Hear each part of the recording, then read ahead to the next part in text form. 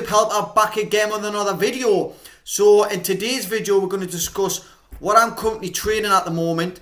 I'm going to give you one token that I'm invested in that's going to change the narrative when uh, when Hong Kong starts trading on the 1st of June, which we'll go in a little bit later on. I'll go through what's happening with Bitcoin and then we'll just go through a couple of other stuff and then we'll get into it. But first of all guys, before we get started, could you hit that like button, please? Could you hit that subscribe button, please? I'd really, really appreciate it. As you can see, we're on 380 subscribers now, and I'd love to be able to get to 400. So without further ado, let's get into it. So guys, let's just start on Bitcoin. So what's been happening with Bitcoin? As you can see, we had a nice pump the other day, and I was lucky enough to catch it.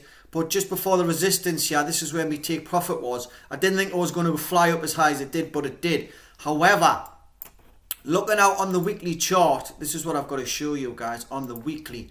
So, on the weekly, we've been coming up this uptrend perfectly now since, let's just say, since last year, really, October. Had a, it's a double bottom, as you can see. So from January, we've been coming up this uptrend. There you go, you can see it better. So we've bounced off here in January and we've come up towards this resistance area. We couldn't break it. We've come back down, bounced off the uptrend again. We did wick down, but we did come up and uh, reclaim that and bounce higher up through this resistance, look. And now we're using this as support. So this is the third time, guys. And for me, the RSI is nearly coming down to reset. So this will be in another five days, I believe. Eh, sorry, four days. And in my opinion, I think we're going to go up and touch these areas in the green box, which will be around about 32 to 34k. That's what my analysis is on this. So I took a trade this morning and opened up a long on Bitcoin. Uh, now this is leverage trading, and I wouldn't sort of uh, advise you to go down that route. But as you can see, this is perfect. Just on the nice area on support, ready to bounce up to the next area. And as you come in a bit closer, we'll go on the hourly. We'll get rid of these arrows. As you can see, on this uptrend, we've hit it. We've just penetrated a little bit, but now having a nice bounce off it. So I've set up a long, a long on there. I'll show you where my long is, if this, if it decides to open. Uh, that's not my... So this is the Bitcoin one. Look, so a nice entry round about that area where I showed you on the long support. And I've just went long on here. Stop loss just underneath underneath that long resistance. Uh, long support, sorry. And let's see if we can ride it up. So that was a Bitcoin. Look, a nice little pump off that support. So what's going on with the Dixie? Now remember, guys, if the Dixie's doing bad, it's good for Bitcoin. So over the last, well, it's been in a steady uptrend as well since May. Obviously May the 22nd, not too long. So if I go out further, go on the four hourly one, you can see that we've been on a on an incline for a while now.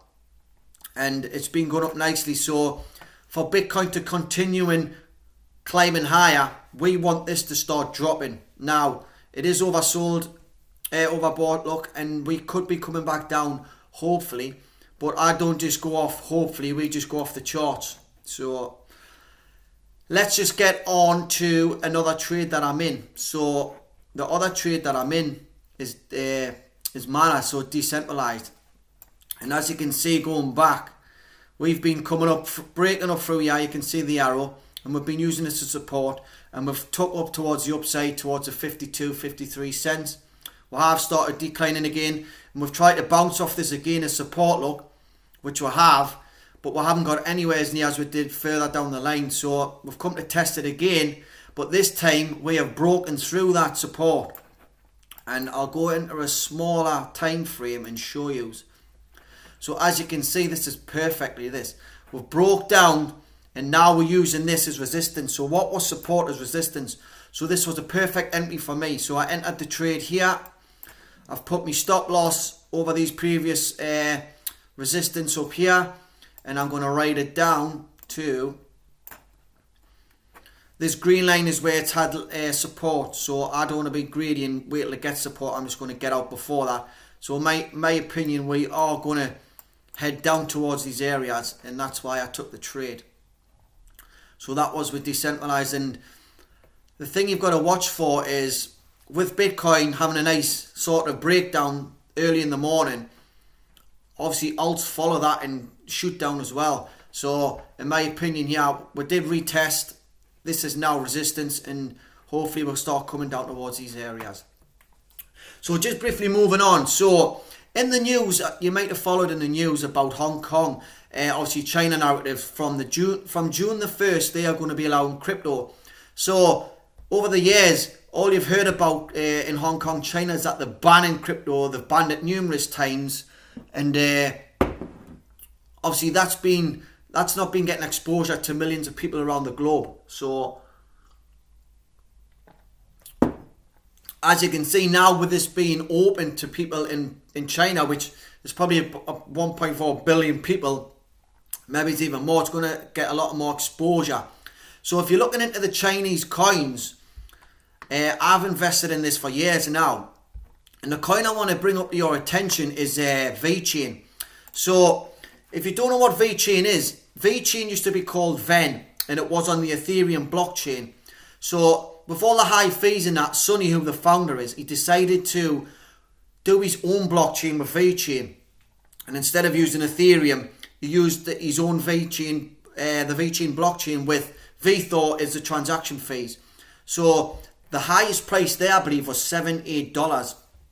And then now at the moment, the price is obviously right down. But once it's went on its own, if you look at the partnerships that VeChain is doing, and uh, people who have obviously I got people involved years ago, uh, two three years ago before it even started flying, and I'll just show you now if I can find the uh, if I can find the actual ticker on VeChain. There it is, yeah, look, so I'll show you on VeChain, so it's all time high on the new blockchain was, I'll show you on the weekly.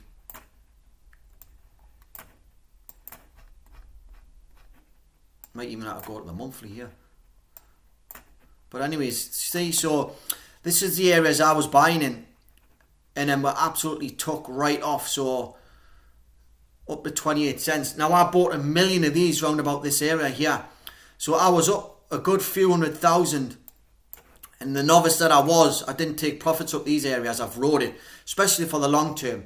So all the way back down to these areas again here. So I've rode it all the way up up hundreds of thousands in profit and then rode it back down. And I do believe in this company. And as you can see, look at the partnerships that it's got.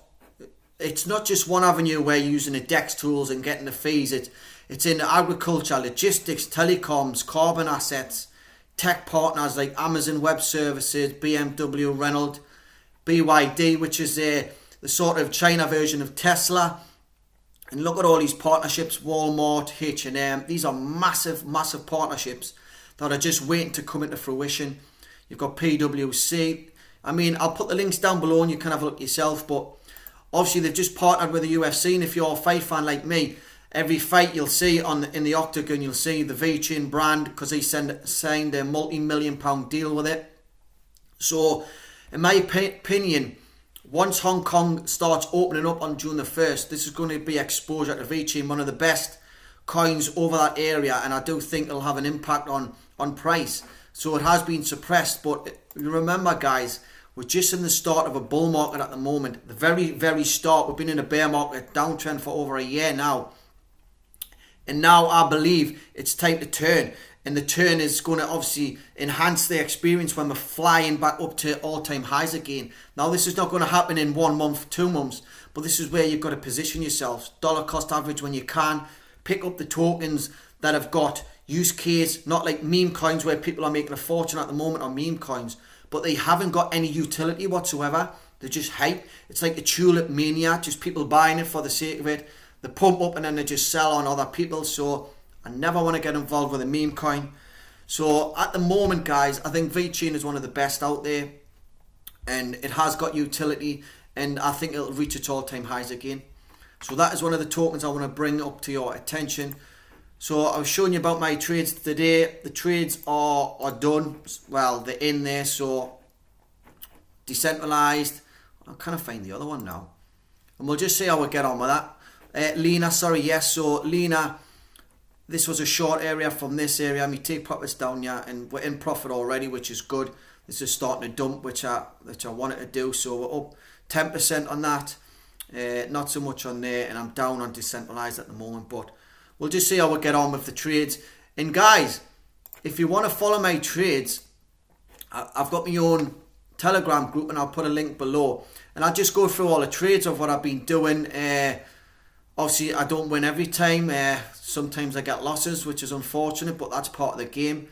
Uh, and I just go through uh, my wins. Sometimes I show you my trade setups, and we just go through stuff like that. And you can either follow along, or you can sort of go into your own trades. But I just show you my setups. Just setups of why, uh, just trading the range, and just stuff like that. And you can go through them yourselves. So I just want to make this a brief video, guys. Uh, just before we're finished, I just want to reiterate, guys, if you could hit that like button, I'd really help it so we could grow to 400 subscribers. Uh, like I say, hit the like button, subscribe, do all them fancy things. But most of all, have a good day, guys. I'll see you all in the next video where I'll be showing you some more trade setups and how you can profit from them. But for now, take care and I'll see you all in the next one.